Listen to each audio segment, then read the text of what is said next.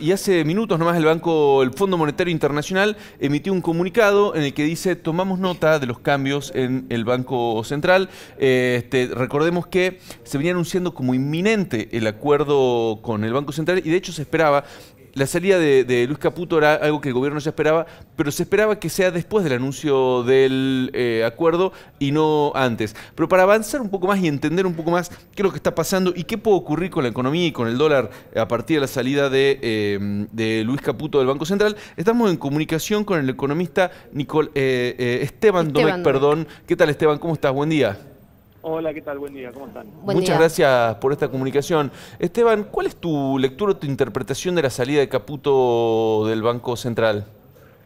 Mirá, yo creo que todavía es muy reciente, sinceramente nos agarró con bastante sorpresa. Eh, si bien eran sabidas las diferencias que había en cuanto a, la conducción económica que había desde el Ministerio de Hacienda, desde el Banco Central, eh, en consenso con lo que tiene que ser el acuerdo con el FMI, había algunas diferencias, sobre todo de implementación de política económica desde algunas semanas. Sinceramente, esto no, no, lo esperábamos en esta semana, sobre todo es una semana bastante importante, entonces se está negociando y cerrando, digamos, una, una reformulación del acuerdo con el FMI, con lo cual es algo que nos, agarra, que nos agarra con bastante sorpresa. ¿Fue inoportuna esta decisión, o por lo menos la comunicación en este momento, en este contexto? Mira, habría que, saber adentro del gobierno, digamos, qué es lo que se estaba hablando hasta hasta hoy, o por lo menos en los últimos días, en todo lo que tiene que ver con, con, la política económica, con, quién toma las decisiones o cómo, cómo se, se consensúa un nuevo, eh, una nueva instrumentación y un nuevo acuerdo con el FMI. Yo no sé si, si estaba esto ya más o menos estipulado, estaba hablado o no. En ese sentido, claramente, si, si, si no estaba hablado, no, no había ningún tipo de de, expectativa de que esto suceda, sí, o sea, es, una semana muy particular, en unos días muy particulares, eh, en donde el presidente, digamos, está en este momento afuera, el, ministro de Hacienda también, en ese sentido, digamos, si, si lo, lo analizo con, con esa información que dispongo, tendría que decirte que sí. Claro, claro. ¿Y cuál crees que va a ser la reacción de, del mercado a partir de esta, de esta salida de Caputo? Eh, bueno, también vamos a tener que darle algunas horas y probablemente esperar a ver qué pasa con, con lo que va a ser la asunción del nuevo presidente del Banco Central, en teoría hasta lo que se sabe será Guido Santleris, eh, y qué es lo que hacen y qué es lo que termina sucediendo con el FMI. Hoy puntualmente, claramente va a ser un día de nerviosismo, sumado a lo que es el paro que se está dando acá en Argentina.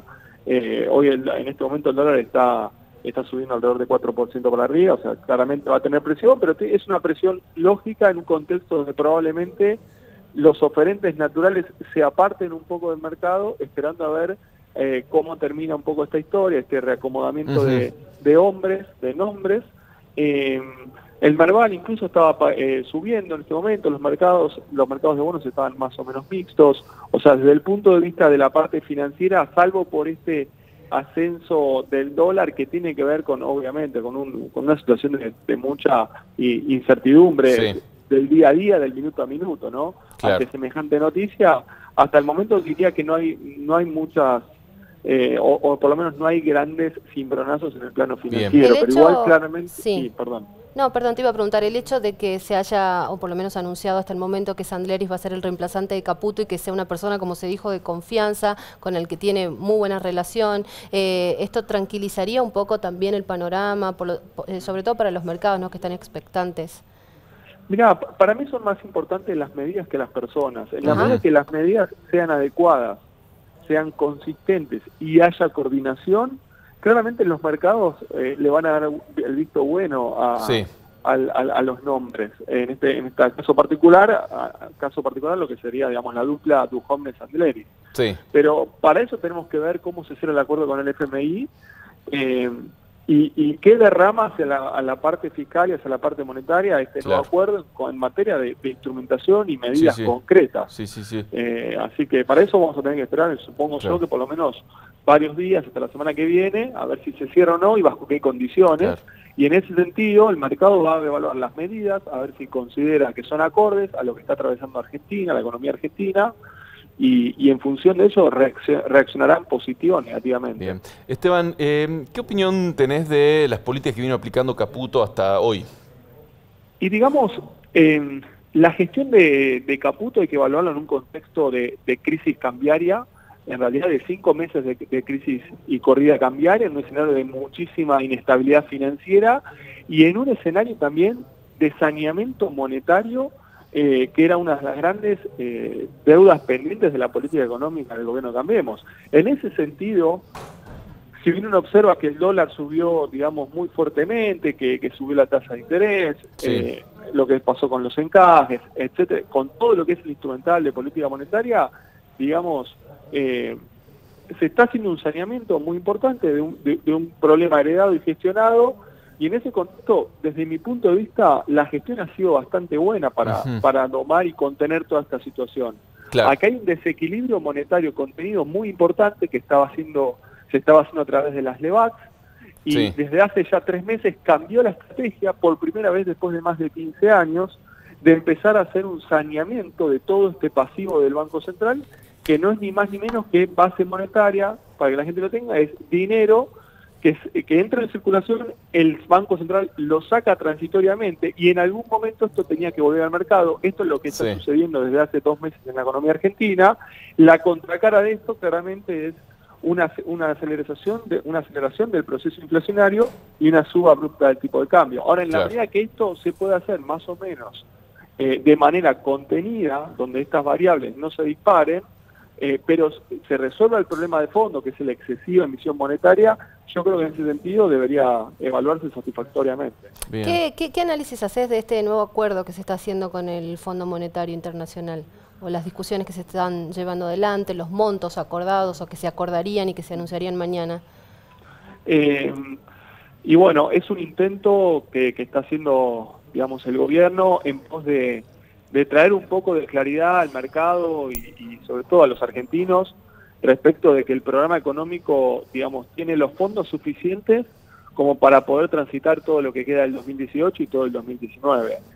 Eh, nosotros acá entendemos que hay un cambio en la estrategia de la política económica por parte del gobierno en pos de asegurar eh, llegar hasta fines de año, o sea, de resolver las necesidades financieras y de dólares de esta economía disipar el riesgo de default, disipar el riesgo de una crisis de balanza de pagos y la contracara de eso tiene que ver con un menor nivel de actividad y una mayor y un mayor nivel de inflación. O sea, es una estrategia de corte más defensivo, producto de una situación financiera muy delicada, muy compleja, producto de un cambio de escenario financiero internacional, pero sobre todo producto de eh, todos los desequilibrios en el plano real y en el plano monetario que esta economía venía arrastrando. En ese sentido hay que entenderlo como que es una estrategia defensiva. Digamos, el gobierno intenta asegurar los fondos eh, para estos dos años, para asegurar, digamos, que la economía pueda llegar bien. En el mientras tanto tiene que seguir eh, realizando todas las tareas de mantenimiento y sobre todo de normalización en el plano fiscal, en el plano monetario y en el plano externo. Digamos, el saneamiento de la economía general todavía tiene que continuar.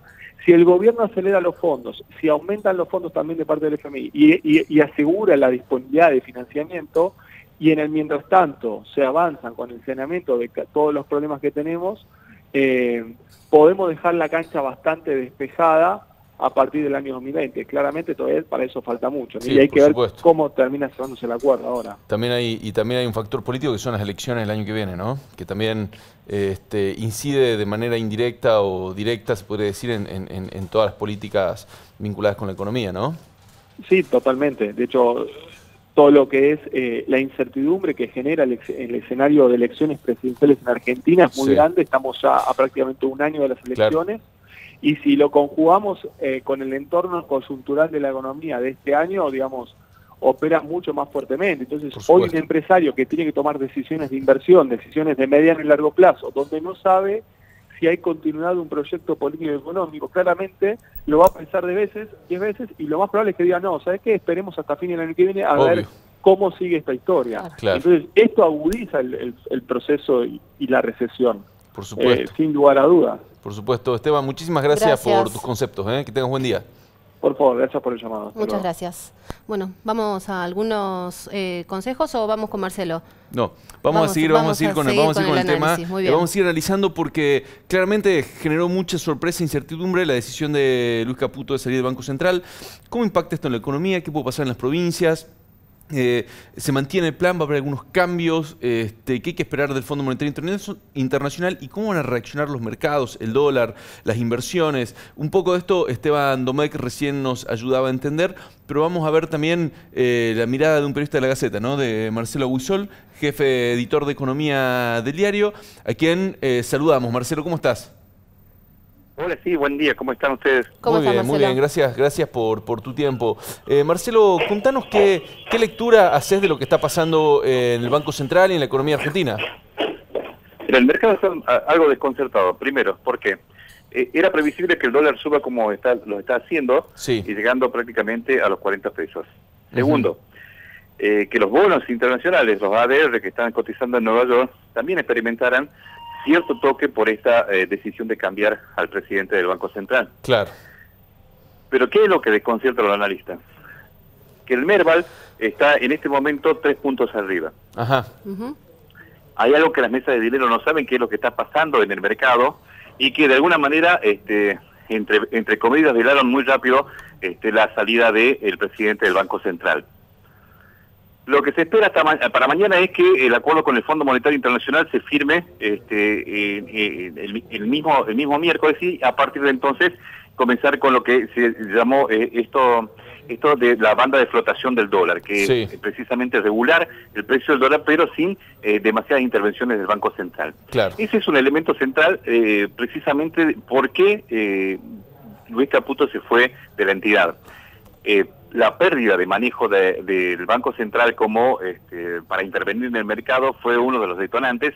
Y si bien hace 15 días ya había este, anticipado su salida, eh, en una cuestión de timing esto este, eh, es un poco desprolijo porque justo se dio en un momento en que el presidente está en Estados Unidos y en la Argentina en eh, un paro este, nacional. claro hasta allí es lo que lo que está lo que está aconteciendo con el mercado. Guido Sandri lo que vendría a hacer es un poco este, jugar con el tándem con Dujomne porque eh, en cierta medida también el fondo pedía algo de eh, prolijidad a la hora de firmar el acuerdo.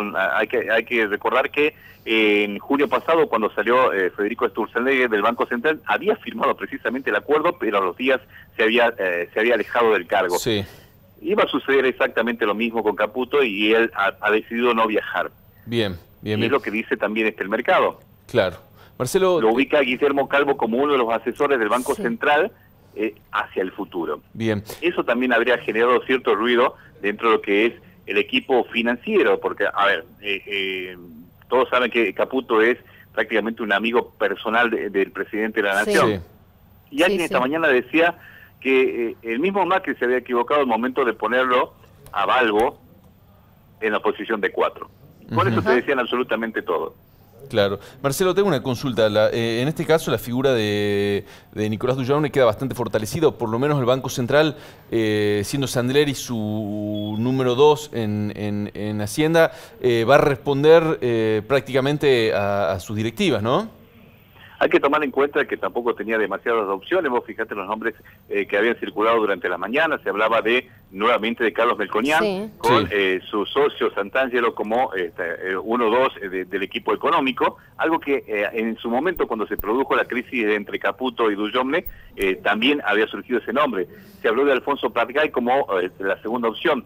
Eh, pero este, ahora este, están eh, tratando de, en cierta medida de eh, conservar precisamente este, este equipo económico porque demasiadas opciones no hay para cambiar de todo el programa económico. Marcelo, tengo una pregunta. Recién, bueno, estábamos viendo y leyendo los títulos de la Gaceta y hay uno en particular que dice que en 80 años el Banco Central solo uno de sus titulares pudo completar el mandato. ¿Qué, qué ves vos de esta situación o qué lectura podés hacer desde lo, desde lo económico?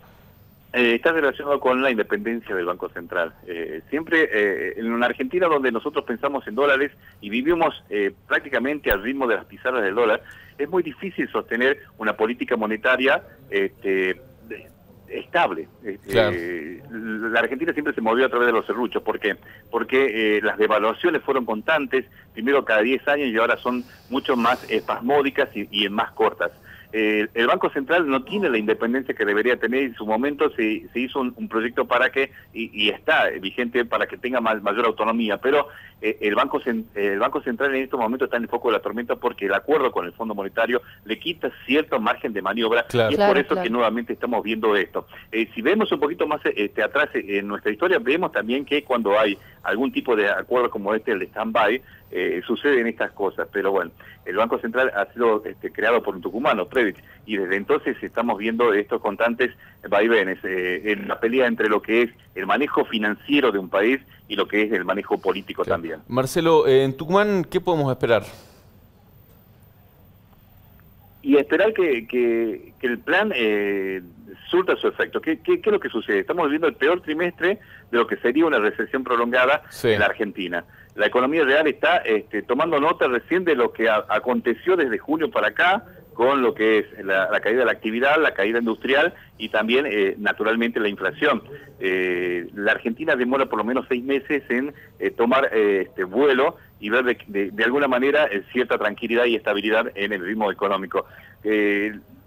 afortunadamente, Tucumán, esto de la empleomanía estatal, es un factor a favor porque eh, el, sector público está movilizando eh, al sistema comercial y financiero de la provincia mm. porque eh, aproximadamente vuelca 4 mil millones continuamente al mercado en los primeros 15 días de cada mes. Eso te da cierta cierto margen de maniobra financiera dentro de lo que es este, la provincia pero eh, la industria siente sus efectos, eh, naturalmente, que está trabajando a, mitad eh, de, su potencia y, y, los precios, sobre todo los precios internacionales, este, en algunas actividades que en cierta medida la devaluación lo ha, los ha favorecido, pero eso no tiene un efecto de derrame este, en el corto plazo. Perfecto, Marcelo, muchísimas gracias. Gracias, Marcelo.